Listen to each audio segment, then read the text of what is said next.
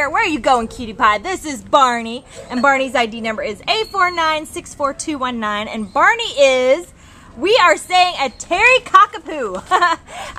um, we definitely think he's got some poodle in there, maybe some Cocker Spaniel, maybe some Terrier. Um, but he is very, very awesome looking, as you can see with all his colors and all his curls. So cute. He's about six years old, and he came in as a stray on August 14th. Um, he weighs 16 pounds of fluff there. Look at him. And he is just so fun. He's got like a really sweet, fun puppy energy. Um, you know, it, it's still a calm energy, but he likes to just kind of, you know, climb all over everything and check everything out and wag his tail. He's super curious, very social, um, loves people, loves other dogs. He'd be a great family dog. He's shown signs of being housebroken. He's good on a leash. Um, so this is just the perfect puppy. Perfect puppy, even though he's six years old. So come on down and meet the awesome, fun Barney. Look at him. He's just climbing around like a big goof.